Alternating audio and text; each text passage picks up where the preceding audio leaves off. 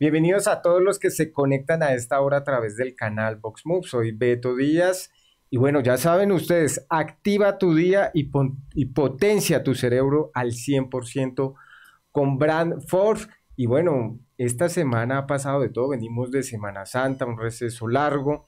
Eh, Dalai Lama dando besos a los niños, que no va a pasar absolutamente nada. Se caen los puentes en, en Colombia tampoco va a pasar nada, se desnudan los políticos, igual tampoco va a pasar nada. Pero bueno, para hablar qué está sucediendo eh, en el Congreso, cómo va la bancada de mujeres, cómo se están organizando, porque tenemos muchas dudas. Hoy nos acompaña Jennifer Pedraza, que hacía rato no la, no, la veía, eh, pero creo que está haciendo un muy buen ejercicio en el Congreso de la República. Bienvenida. Jennifer a Palabras Más y al canal VoxMo. Hola Beto y hola a toda nuestra audiencia. Eh, disculpen por no haber podido venir antes, la verdad es que ha sido un trabajo interesante y pues Obvio, como el semestre pasado estaba por primera vez en el Congreso, pues estaba aprendiendo, todavía estoy aprendiendo muchas cosas, pero pues yo estoy muy feliz de estar aquí acompañándoles desde las marchas del movimiento estudiantil. Ustedes han cubierto en detalle muchas causas sociales con las que yo coincido, entonces pues por aquí volveremos también en el futuro, ojalá. No, yo estaba, ustedes me ponían en aprietos porque habían muy buenos eh, candidatos eh, las elecciones pasadas. Yo estaba en esa encrucijada porque estabas Evidentemente Jennifer Pedraza estaba acá en Jubinado y estaba eh, Fernando Rojas. Evidentemente, siempre por el que voto pierde, entonces eh, hacen bien los que llaman y dicen, oiga, Beto, no diga que va a votar por mí, ni todo este tipo de cosas, porque pierden generalmente. Entonces, Fernando estaba es un excelente eh, político y activista y académico, y ojalá podamos contar con que se lance a las elecciones regionales que vienen ahorita en octubre. Yo estoy ahí haciéndole fuerza. Pues ojalá tenga usted ese poder de convencimiento. vamos a ver qué pasa con ellos. Eh, porque igual también al Senado voté por su fórmula y perdimos. Bueno, me va a tocar no decir que voy a votar por ellos a ver si ganan. la sal, Beto, la sal. bueno, te cuento, yo sí tengo algunas inquietudes, porque es decir, estamos viendo ahora el poder en las mujeres en el Congreso, pero no sé, yo siento eh, que hay como cierta selectividad en, en, cosas y después se retractan porque pasa... Eh, eh, algo público, por ejemplo, hablo del caso de Alex Flores, ¿cierto? Entonces, eh, digamos, mucha gente eh, votó por Gustavo Petro y bueno, sus, digamos, sus, sus equipos o su, o su equipo que llegó, pues no ha sido, digamos, el más ejemplar, por decirlo de alguna manera. pasa con Alex Flores y pasó con la representante en su, su momento, Mafe Carrascal, que salió a decir que no, que tenía un problema, era de alcoholismo, que deberían todos eh, llegar a unirse, el pacto histórico, pero fue la opinión, digamos, la que llevó a que la representante eh, se echara para atrás. Em, pareciese que en algunos sentidos eh, pasa lo de Holman ahora también, Jen. lo voy a decir Jen porque casi siempre te digo así. Pasa lo de Holman también eh, hay un sector que sí quiere que se, que se, que se una a lo bueno, que asuma lo de RTBC y eh, algunos recordarán que no fue Rodolfo al, debate con, con, con, las feministas, pero sí estuvo Gustavo Petro, pero se toman ese tipo de decisiones. ¿Cómo entender, digamos, eh, lo que viene sucediendo con este tema? del poder en, la mujer en, en, esos escenarios políticos, Jennifer? Pues yo creo que hoy está en constante y agudo riesgo ese eslogan de la segunda vuelta presidencial en donde el presidente Gustavo Petro y la vicepresidenta Francia Márquez prometieron que el cambio iba a ser con las mujeres y le apostaron como sector electoral, porque para eso sí somos prioritarias, a el voto femenino para ganarle a Rodolfo en la segunda vuelta. Y no solo por eso, sino porque es claro que en Colombia hay un movimiento de mujeres y un movimiento feminista cada vez más fuerte, un movimiento pues que además ha tenido una capacidad de movilización importante. O sea, el movimiento social en Colombia ya no es solamente los sindicatos y el movimiento estudiantil, sino que incluye un montón de sectores y entre ellos el movimiento de mujeres. Eh, y yo he sentido una decepción grande en el movimiento feminista y en el movimiento de mujeres frente a varias decisiones de este gobierno, además como una, una especie de tusa, porque, porque el presidente Gustavo Petro fue a ese debate y pues se puso el pañuelo verde, que es un símbolo de la causa por la autonomía sexual y reproductiva y por la despenalización del aborto de las mujeres. Y lamentablemente ese no ha sido un tema prioritario para su gobierno. Em, claro que hay un, como una incoherencia, porque por ejemplo, ustedes ven las declaraciones del ex senador Bolívar, que ahora es precandidato a la alcaldía de Bogotá, denunciando eh, congresistas de partidos tradicionales que supuestamente tienen una red de explotación sexual en el Congreso y le parece absurdamente grave, pero cuando este tipo de denuncias ocurren en contra de personas de Colombia Humana y del pacto histórico, automáticamente se vuelven cero relevantes, se vuelven calumnias, o sea, son calumnias cuando son denuncias contra sus compañeros copartidarios, pero cuando son denuncias contra hombres de otros partidos, ahí sí son muy muy válidas. Entonces sí hay una sensación de instrumentalización de la causa de las mujeres de parte del gobierno que no se corresponde con las decisiones políticas que toman.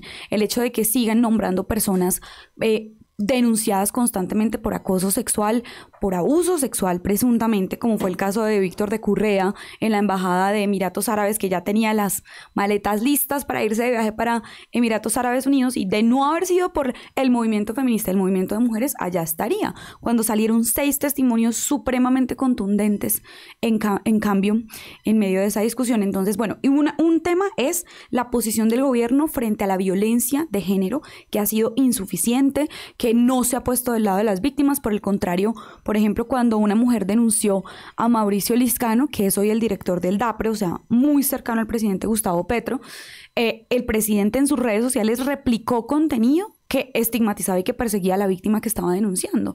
En ese contexto, ¿cómo nos vamos a sentir las mujeres seguras y respaldadas para denunciar? Ese es un aspecto, pero el segundo aspecto es quizá em, los temas como normativos, los proyectos de ley, las iniciativas gubernamentales orientadas a garantizar los derechos de las mujeres.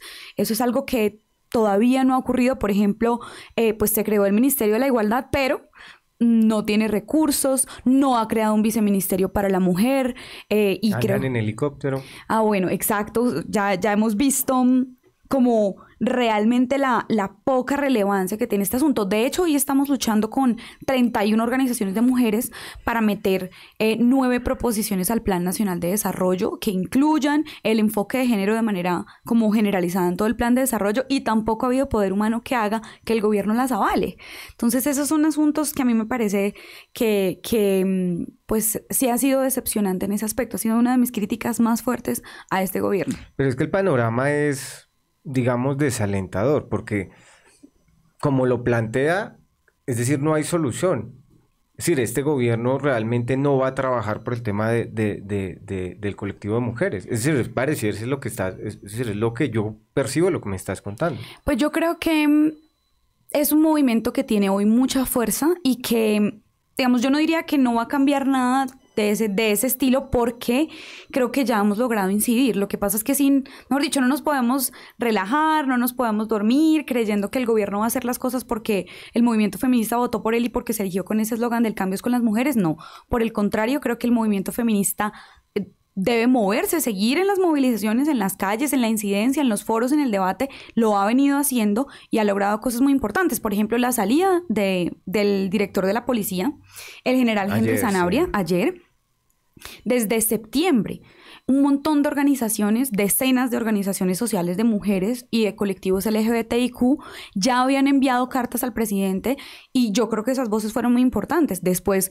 muchos y muchas congresistas nos sumamos a esa exigencia y pues sea como sea, se ganó que él ya no sea el director de la policía. ¿Y dónde quedan los derechos de las otras, de esa otra población, Jennifer? ¿De la población LGBTIQ? Más que de la, ya entramos al tema del LGBTIQ hablo de esa otra población, es decir, para ustedes es, por ejemplo, que se ganó una victoria, digamos, sacando al, al, al, general de la policía. Pero los que quedan al otro lado, y es, digamos, el sector religioso, por decirlo de alguna manera, ¿dónde quedan los derechos de ellos de decir, oiga, sacaron a este señor fue por sus creencias religiosas, no por, eh, digamos, su trabajo que venía haciendo eh, como director de la policía. Entonces, ¿dónde quedan los derechos también de la libre, digamos, eh, derecho a, su religión y este, y este tipo de cosas? ¿Dónde queda? Es decir, ¿realmente lo sacan? ¿Es por esto de sus declaraciones o por su trabajo o por lo que pasó, que dijo que había sido un secuestro eh, de los policías? ¿Dónde quedan esos otros derechos de los otros? Total. No, esta nunca fue una causa para perseguir a las personas cristianas o a las personas católicas.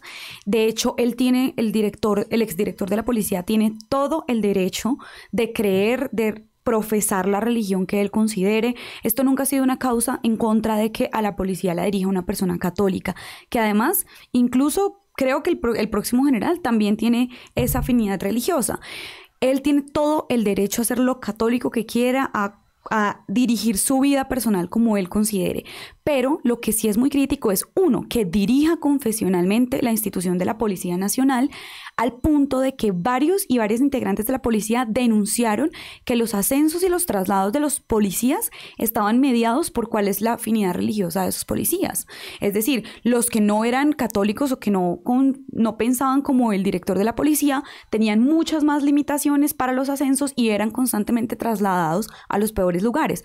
Varios policías denunciaron que en sus días de descanso las personas que estaban en unión libre pues eran sometidas a, mm, exorcismos, a exorcismos ah. y, y, un montón de persecución, digamos, alrededor de la unión libre, lo cual eso sí es una violación de la libertad de culto de las personas que componen la policía, pero no solo eso.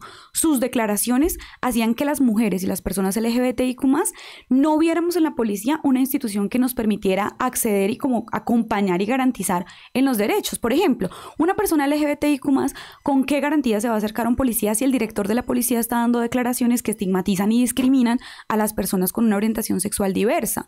e incluso sus declaraciones en contra del uso del preservativo que sabemos hoy que es, una, que es una herramienta fundamental de salud pública para controlar las enfermedades de transmisión sexual y por supuesto una herramienta de autonomía reproductiva de las mujeres. Yo no puedo afirmar que salió el director de la policía solo por esto. Yo creo que también hay tensiones referentes a la discusión del cerco humanitario o el secuestro y que también hay tensiones por las condiciones laborales de los policías, sin duda alguna. Pero sí me gustaría aclarar que esta nunca ha sido una cruzada contra las personas católicas, contra las personas que tienen una fe porque por supuesto ellas tienen todo el derecho de hacerlo. El punto es que el Estado colombiano tiene un compromiso constitucional de operar de manera laica. Eso implica respetar y garantizar el libre desarrollo de las personas que se quieran afiliar a una religión o no, o que se sientan identificadas con una religión, pero lo que no se puede hacer es que se dirija de manera confesional una institución tan importante como la Policía Nacional, menos en un gobierno que se comprometió a hacer una reforma estructural a la policía que garantizara realmente los derechos individuales de las personas. Por ejemplo, el director de la policía se la pasaba haciendo declaraciones en contra del derecho a la interrupción voluntaria del embarazo, recientemente conquistado por el movimiento feminista. Y sabemos que una de las principales barreras para acceder al aborto de muchas mujeres en las zonas rurales o mujeres migrantes es que no sienten que la policía sea una institución que las pueda orientar. Entonces, más allá, cualquier policía puede tener la afinidad religiosa que quiera, pero eso no le autoriza para em, estigmatizar a las mujeres que quieran acceder a un derecho ni a una persona por ser lesbiana, gay, trans, nada de eso. Volvamos, digamos, al tema de las mujeres en el Congreso y esto, pero ¿qué, ¿en qué le van a beneficiar las reformas que se están planteando hoy en día? Y también quiero entrar al tema LGBTI, porque van a haber también unos beneficios para ellos, o, ellas, bueno, en fin.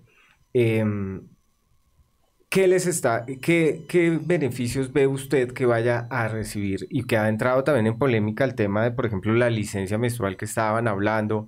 Em, unos dicen que no, que eso es estigmatizar, que es eh, el tema de, de, de, que los empresarios van a empezar a preferir contratar a un hombre que una mujer. Bueno, en fin, etcétera.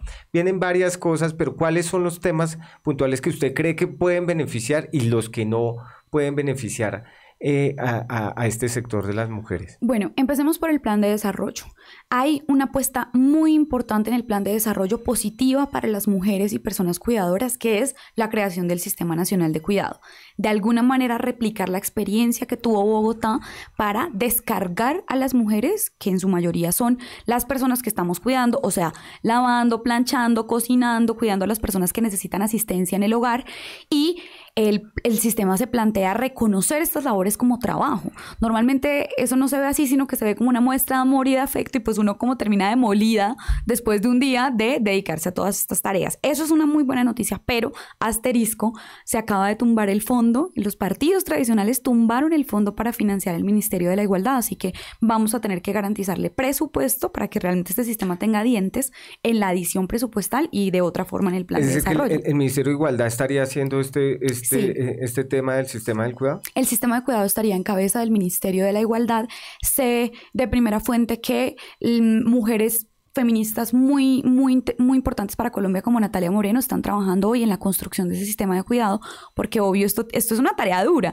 No se puede copiar y pegar la experiencia de Bogotá por todo el país. No es lo mismo Tumaco, en donde las mujeres luchan, por ejemplo, por el acceso al agua potable, que Bogotá, que ya tenía una infraestructura en donde se establecieron las manzanas de cuidado.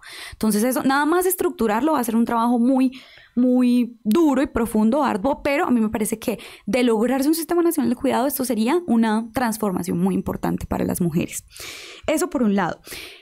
¿Qué se viene, por ejemplo, en, en la reforma laboral y en el proyecto de ley de licencia menstrual? Primero me gustaría señalar que en términos globales a mí me parece que el proyecto de reforma laboral es acertado porque pretende recuperar derechos laborales que las anteriores reformas de los anteriores gobiernos, el expresidente Uribe y Santos, eh, y Duque, por supuesto, fueron desmontando derechos laborales importantes, como el hecho de que se pagaran las horas nocturnas desde las 6 de la tarde, dominicales, festivos, promover la contratación eh, directa. Y eso es muy, muy, yo lo digo también personalmente porque yo soy la congresista más joven del Congreso y mucha gente se la pasa diciendo ahora, no, es que los jóvenes ya no quieren un contrato de largo plazo. Y obviamente hay un porcentaje de jóvenes que no lo quieren. Normalmente los jóvenes que mayor formación académica tienen y que por ende pues tenemos la posibilidad de tener varios contratos de unos montos importantes, pero esa no es la norma. La norma son jóvenes con formación eh, técnica, tecnológica o hasta pregrado que están constantemente rogando por un contrato, contratos de tres meses, te toca trabajar gratis otro mes para que esperando a que te renueven el contrato otros tres meses, entre otras realidades laborales muy críticas. Y por supuesto las condiciones pues laborales difíciles de, de RAPI, de los call centers. Yo sí creo que la reforma es acertada en esa búsqueda de recuperar derechos laborales. Ahora, voy a poner otro asterisco acá.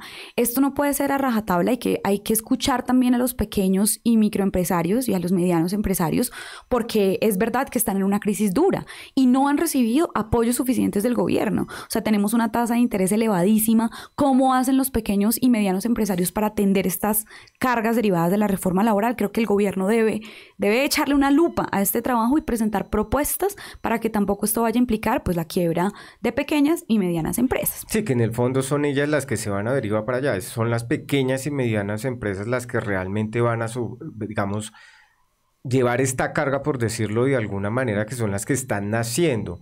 No debería plantearse también de alguna manera una distinción entre la grande, las grandes empresas que dejan caer puentes y de las pequeññas empresas que están creciendo, porque no es lo mismo Caracol al canal Box Move. Es decir, hay una gran diferencia. Conflicto de intereses aquí de, de, Beto. No, pero mira, lo que, lo que yo creo es que em, siempre se le ha vendido a los empresarios la idea de que la forma de salir adelante es disminuir los costos laborales. A mí me parece que esa idea tiene un problema y es que los trabajadores también son quienes demandan en una economía y deja por fuera el resto de costos que son muy importantes para las empresas. Voy a empezar el hecho de que Colombia sea el tercer país de América Latina con el kilovatio hora más caro de la región. O sea, los servicios públicos son un costo altísimo para la producción, para las micro, pequeñas y medianas empresas. Los peajes, costos para, transformar, para transportar y comercializar los, eh, los productos. Colombia es el tercer país, en, hace, hace un año era el tercer país con la mayor tasa de interés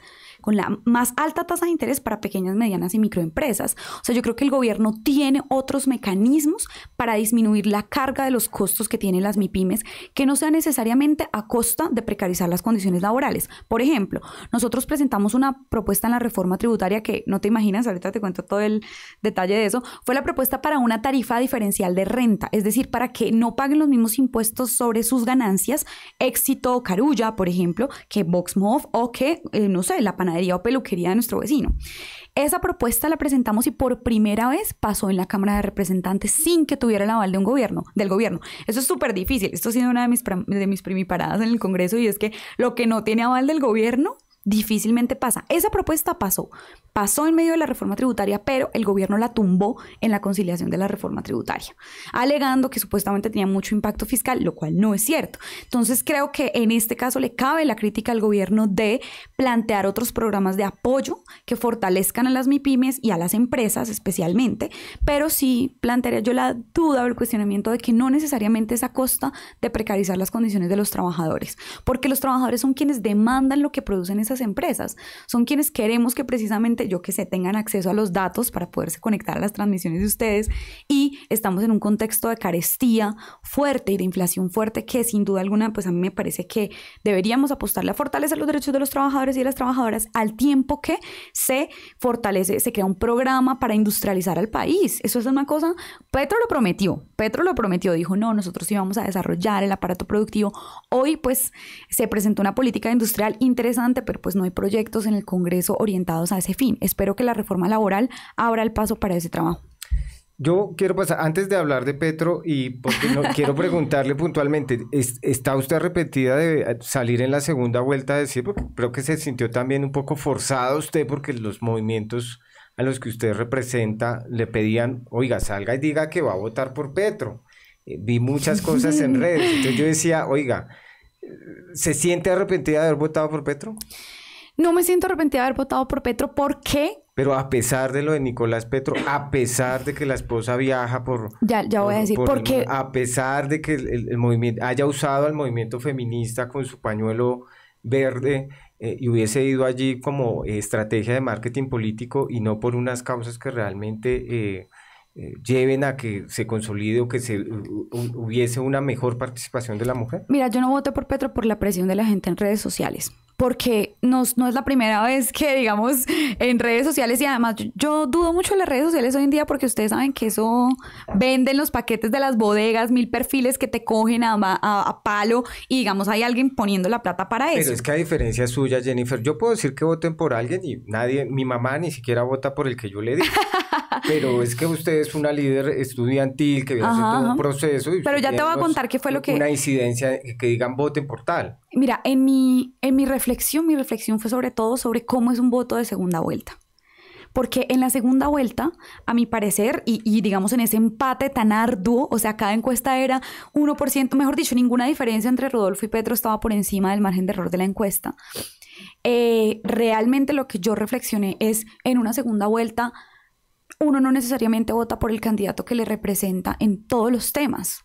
Sin, em, sin embargo, creo que uno tiene que elegir entre las dos alternativas que tiene. Yo no pensaba así. Es la opción. Sí, yo sé que en su momento no votó por Muchas personas, total, yo voté en blanco en la, en la segunda vuelta del 2018, pero lo que a mí me pareció en estas elecciones es que el planteamiento de las mujeres que hacía Rodolfo me pareció muy, muy crítico para mi perspectiva de nuestros derechos. pero era realista, ¿no? Es decir, en el sentido de que era lo que él pensaba, no terminó como ahora ah, Pues sí, pero, pues sí, pero pensaba que las mujeres teníamos que estar en la cocina. O sea, pero fue mal interpretado porque su esposa a mí no me parece. Pues sí puede, pero la esposa, pero por ejemplo, yo soy de, yo soy de Bucaramanga, tú sabes que yo soy santandereana. las palabras, ¿no crees? Pero es que los hechos son también su maltrato contra las es que como yo soy de Bucaramanga y mi papá es ingeniero civil de Santander, o sea, mejor dicho, es del mismo gremio de Rodolfo, conozco muy bien cuál ha sido su política frente a las mujeres que ha sido, así él no lo plantee, aunque sí, también frontalmente lo plantea, una insistir en que las mujeres tenemos sectores vetados de la sociedad y que no debemos estar en la política.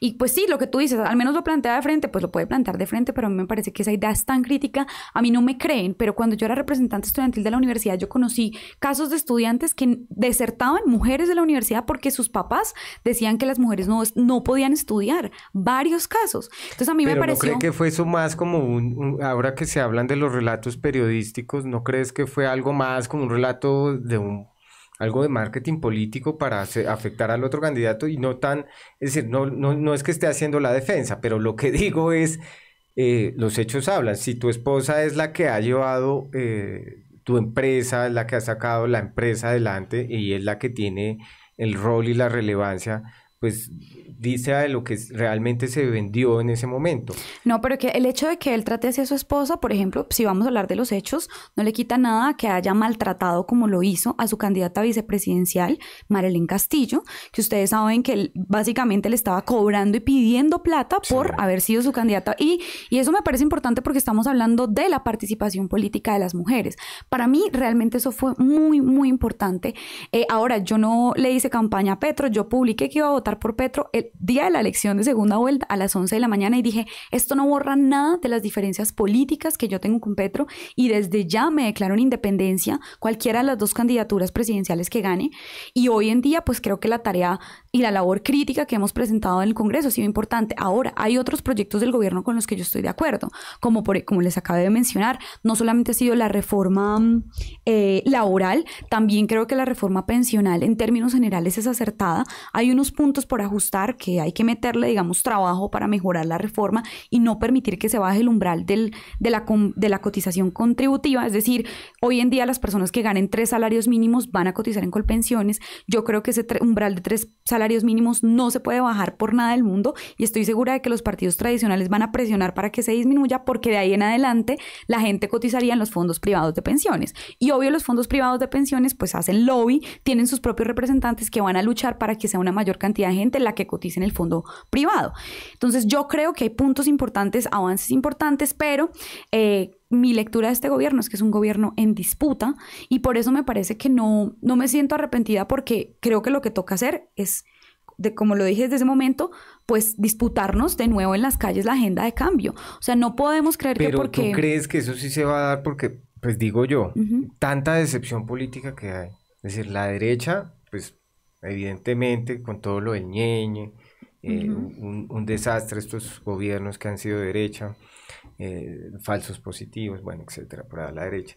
Va uno y mira a la izquierda, entonces vemos a Nicolás Petro con el narcotráfico, vemos eh, eh, una cantidad de cosas. No, y, alianzas con los partidos tradicionales en esas elecciones territoriales, lo peor, la reforma política que ustedes saben que yo me opuse, mejor dicho, y la logramos tumbar, pero no fue porque quisiera, no fue porque Petro dijo, ay no, esta no es la reforma que ella quería. Pero mira, los políticos, como estamos ya, llegamos al centro, y el centro entonces uno ve a Claudia, y entonces aliada con... con em, con Rey. Que no, Claudia está solamente pensando en su campaña presidencial y me parece que no representa hoy lo que muchas personas pensamos y la elegimos. Violó casi todos los acuerdos que suscribió con el movimiento social.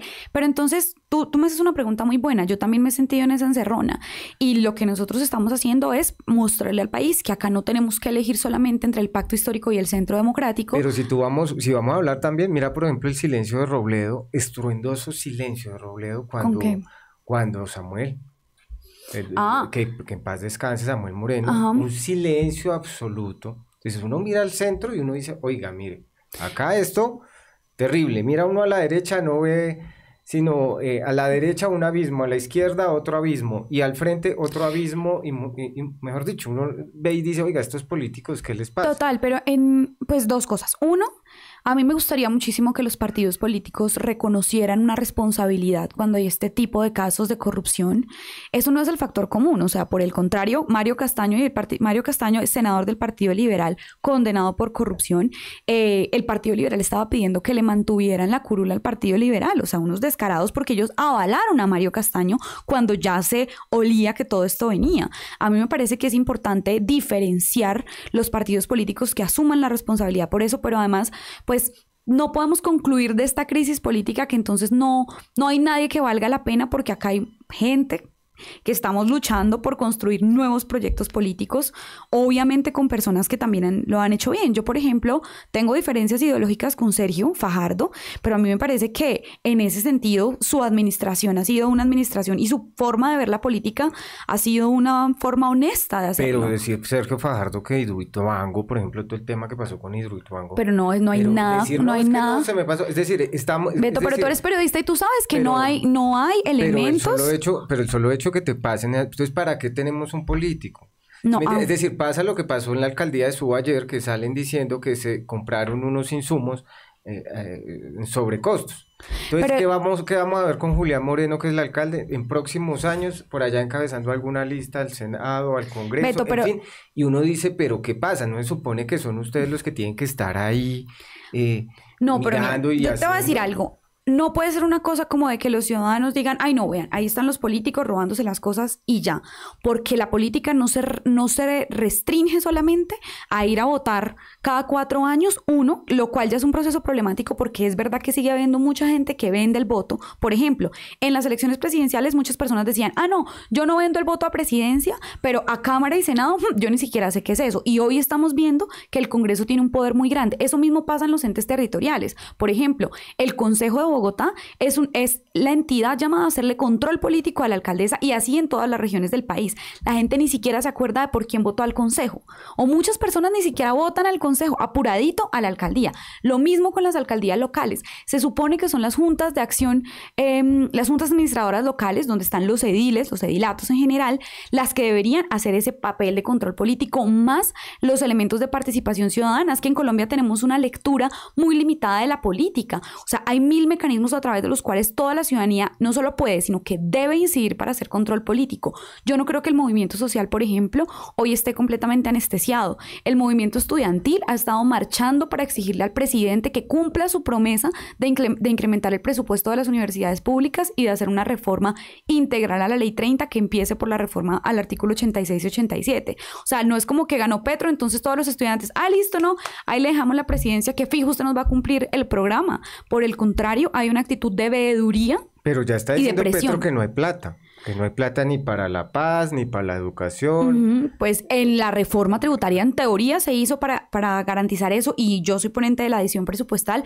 Ahí vamos a luchar porque en la prioridad presupuestal, pues esté en las universidades públicas, presupuesto de ciencia y tecnología, que en el anteproyecto que han presentado, pues se ve una reducción del 50% en el presupuesto para el Pero ¿tú crees que realmente, honestamente, va a pasar? Es decir, y tú dices, bueno, sí, los políticos. Están, pues yo creo que hemos logrado. pero si el presidente ya está diciendo que no hay plata ni para la paz, entonces que no hagamos, es decir, está complicado la paz total. En educación tampoco, es decir, el, el, no, yo estuve tratando de indagar cuál es el desglose, por ejemplo, del, del Plan Nacional de Desarrollo, no lo veo al día de hoy, no está en redes, bueno, en, en, la web o en las páginas oficiales del, del Ahora te comparto la última versión. Sí, pero no em, es pero no está, digamos, desglosado como si lo encontraba uno, por ejemplo, en los en anteriores gobiernos. Defensa tantos billones, educación tantos billones, ciencia y tecnología, pero digamos que realmente es poco y mínimo lo que está dejando este gobierno para ciencia y tecnología, por ejemplo. Entonces, ahí es donde yo digo, no va a cumplir, porque no hay pero Entonces, pero entonces, mira,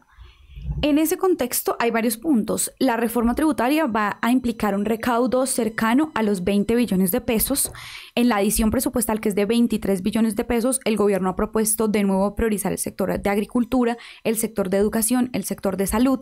Y ese es el debate que ahora tendrá que dar el Congreso de la República.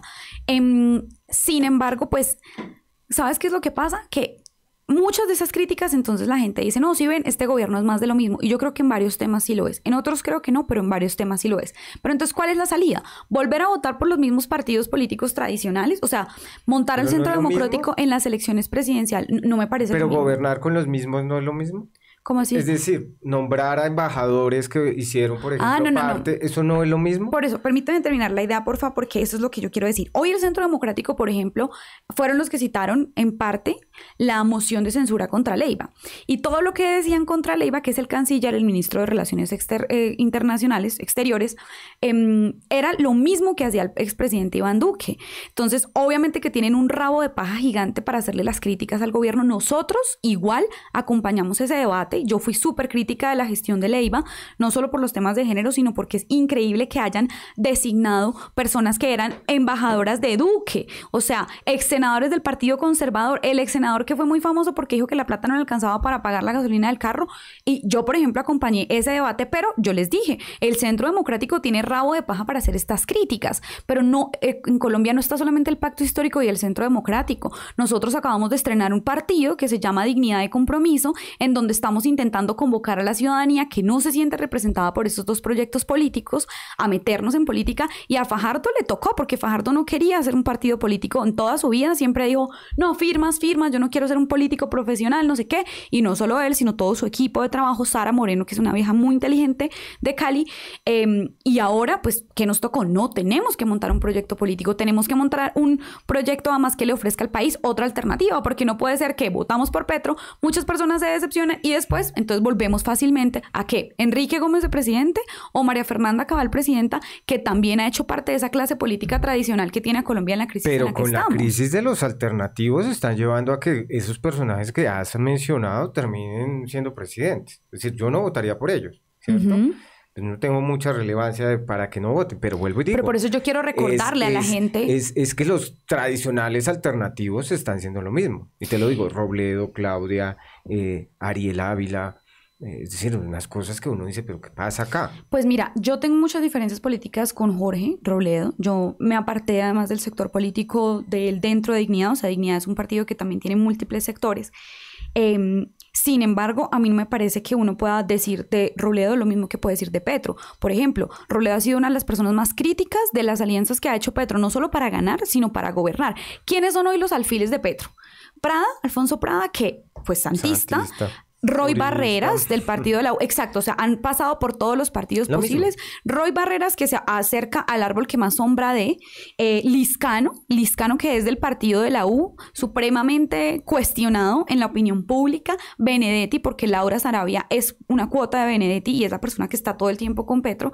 Ese tipo de cosas Colombia tiene que saberlos. La gente, la gente eligió un cambio en las urnas con el que ideológicamente yo, por ejemplo, podía sentirme más afín que Rodolfo, pero Petro puede, y yo creo que lo está haciendo, traicionando ese mandato social de cambio. Entonces, ¿qué vamos a hacer? ¿Vamos a volver ese mandato de cambio un mandato de continuismo de partidos tradicionales o vamos a elegir otras personas que garanticen ese cambio, incluso así no sea tan radical? Porque ustedes saben que en elecciones presidenciales Petro decía, por ejemplo, 14 billones de pesos para las universidades públicas y Fajardo es un tibio porque no promete 14 billones de pesos para las universidades públicas. Y cuando íbamos a decirle, a ver, ¿dónde está la plata para eso? No, no, no, es que ustedes son unos tecnócratas. Y hoy cuando son gobierno y les decimos, a ver, los 14 billones de pesos para las universidades públicas, no, es que no hay un peso. Entonces las elecciones presidenciales en Colombia no se pueden volver el personero de colegio que promete piscina y gin day, sino que tiene que ser un cambio, pues concreto, digamos académico, Que estudiado, posible. tal como son. Sí, así, y eso ha sido difícil porque mira, mucha gente nos decía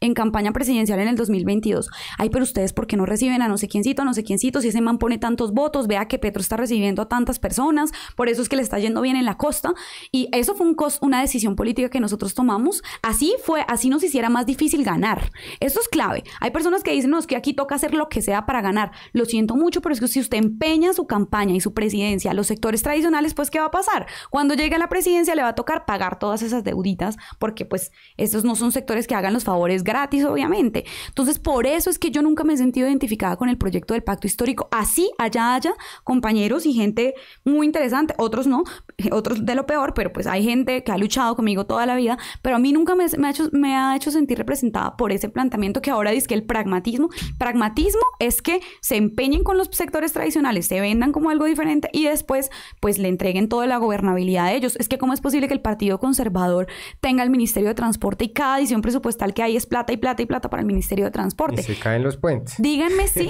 ajá, y díganme si eso no los va a llevar fortalecidos a las elecciones regionales, Beto. Es que aquí lo que que va a pasar es que los partidos Se tradicionales encareció la política de estas elecciones, Jennifer. Y los que ustedes están diciendo, oiga, que vayamos a hacerlo con ideas y nos queden, o sea, hasta dónde les dé. No Es sé, porque pues- se van a ver como Fernando y como Juan Carlos diciendo. Dependerá de la ciudadanía, de ustedes que nos están viendo. Es que por eso es que yo te digo que no puede ser como, ah, bueno, sí, todos son iguales, entonces yo mejor no voto y mejor vendo el voto. Es que mucha gente me ha dicho eso, no, es que todos los políticos son iguales, entonces yo por eso mejor no voto o mejor vendo el voto. Y eso es lo que hace que estas personas se sigan eligiendo y reeligiendo, así se va- vayan a dormir al Congreso, así no vayan a las sesiones de- del Congreso o así, eh, pues sean pésimos congresistas. Entonces, lo que yo quiero es dejar de ver la política como los ciudadanos en un lado y los políticos en otro lado.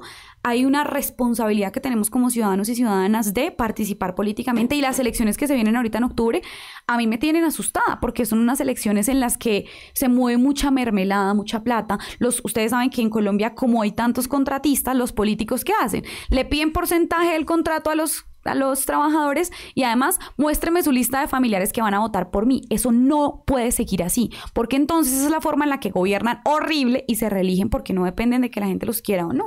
Para cerrar, porque se nos, se nos Sí, cuenta perdón, el tiempo, ya nos están haciendo, eh, eh, o sea, para cerrar, es que esta pregunta que le voy a hacer, cuando supo que, supieron que venía hoy acá a Palabras Más el canal Vox Move, me dijo, Beto, por favor hágasela porque eh, he querido, bueno, ya que la va a tener ahí cerca, y es, Nervios. Más que, no, no, nervios no, porque estábamos hablando el tema, no es si se va a casar y este tipo de cosas, no. No, no, no. Pero lo que vamos es... es Igual sí me quiero casar, pero... eh, es, em, bueno, vamos al tema, por ejemplo, de, de la autopercepción. Y hay algunas mujeres que se dicen, oiga, se está trabajando mucho por los derechos de la comunidad LGBTI, ¿cierto? Pero pareciese que se estuvieran también vulnerando los derechos de las mujeres. Entonces, ¿por qué? Porque, por ejemplo, llegan a escenarios deportivos personas que se autoperciben eh, mujeres, que no son mujeres, y pues obviamente se van a llevar los torneos, se van a llevar los premios, porque evidentemente pues hay un, algo físico que no, que no es, eh, digamos, en igual de condiciones, por decirlo de alguna manera. Entonces, decía, precisamente me preguntaban eso, es, eh, el- el feminismo está también tratando de que eh, se haya también como esa diferenciación en algunos escenarios en donde las que se perciben como eh, mujeres, eh, pues respeten también los derechos de estas mujeres en diferentes escenarios, digamos como los deportivos. Mira, es la primera vez que voy a hablar en público de este debate, porque es una división que hay dentro del movimiento feminista, sin duda alguna. Que yo creo que ese debate no se ha dado en los mejores términos y el movimiento social, pues ya tiene varias décadas de existir y no podemos seguir dando esos debates como con el, con el ánimo tan destructor. Sí hay una tensión entre la teoría queer y el planteamiento que se ha hecho eh, en general sobre mm, sobre eh, los temas LGBTI, bueno, los temas trans más bien, y un sector del movimiento feminista que se conoce como el, sector radical del movimiento feminista. ¿Cuál es mi posición? Es verdad que hoy, bueno, estoy todavía construyéndola, ¿no? Porque es un debate que tiene mucha tela por cortar, pero es verdad que hoy asesinan a muchas personas solamente por ser personas trans. Es verdad que muchos de sus derechos hoy son limitados. Eh, hay un documento muy interesante que se llama Cinco Derechos en Clave Trans, que hablan, por ejemplo, del derecho de las personas trans a la salud, el derecho a habitar la ciudad, al transporte público, que son en muchos casos limitados porque son personas que se reconocen como personas trans. Yo creo que en ese sentido Colombia tiene mucho que avanzar y mucho que reglamentar. Por ejemplo, para que la única alternativa laboral de las personas trans no sea... eh, la explotación sexual o las tareas de estética y ya, sino para que haya acceso al trabajo. Pero hay un punto en el que creo que eh, las mujeres también debemos reivindicar nuestro espacio porque nosotras no somos una minoría, nosotras somos de hecho la mayoría de la población colombiana y hay proyectos de ley en donde hoy, por ejemplo, está la palabra mujer y hay personas que dicen que debe eliminarse para exclusivamente poner la palabra personas menstruantes. Yo no me ubico en ese lado porque nosotras mujeres hemos luchado años y años por ganarnos ese espacio de diferenciación, de reconocimiento de derechos y en ese sentido yo creo que se deben reconocer los derechos de las mujeres y, y de las personas trans. Es decir, hay que reconocer ambas causas como causas justas, válidas, pero me parecen causas que tienen orígenes y debates diferenciados en muchos casos. Obvio también tenemos un punto en común y es la lucha contra el, contra el patriarcado en el sentido de asignarnos unos roles por el hecho de haber nacido con un sexo. Sin embargo, creo yo que eso no nos pone necesariamente en la misma posición en todos los debates. Yo me reconozco como una mujer abolicionista de la prostitución. Esto no es una posición prohibicionista, o sea, hay tres, tres posiciones en el debate de la prostitución, la regulación, la abolición y la prohibición. Yo no soy prohibicionista. La abolición de lo que se trata es de crear o de intervenir las condiciones socioeconómicas que hacen que hoy haya muchas mujeres cuya única alternativa es la explotación sexual, vinculada en muchos casos a la trata de personas y por supuesto la explotación sexual infantil. Esto se debe hacer antes de un, de un, planteamiento de regulación. En Bogotá se hizo una encuesta y la mayoría de las personas en condición de explotación sexual dijeron que no querían estar ahí y que si tuvieran otra alternativa laboral la acogerían. Entonces, pues esa es mi posición sobre esa discusión. Creo que no, creo que no valdría la pena como insistir en este um, enfrentamiento tan agresivo, porque se ha vuelto muy agresivo. Entonces, seguramente después de esta entrevista eh, voy a tener una disputa en redes sociales. Con muchísimo gusto, pues planteo lo que pienso, pero eso es lo que yo opino. Bueno, yo la dejo porque ya me están haciendo su jefe de prensa. Mercedes, por favor. Eh, Jennifer, muchas gracias por venir a Palabras Más, al canal Vox Moon, que espero se recupere pronto su mascota que está enferma. Mm, Fidel, eh, y muchísimas gracias siempre por estar atenta al, al, al, a las invitaciones del canal. Beto, yo muy feliz de estar aquí acompañándoles cada vez que pueda. Muchas gracias también a la producción. Bueno, usted muchas gracias y a todos los que se conectaron eh, a este programa, muchas gracias. Ya saben, nos pueden seguir en arroba canalboxmove, arroba palabras más y a mí me pueden seguir en arroba Beto A todos muchas gracias. Nos vemos el próximo jueves. Chao, chao.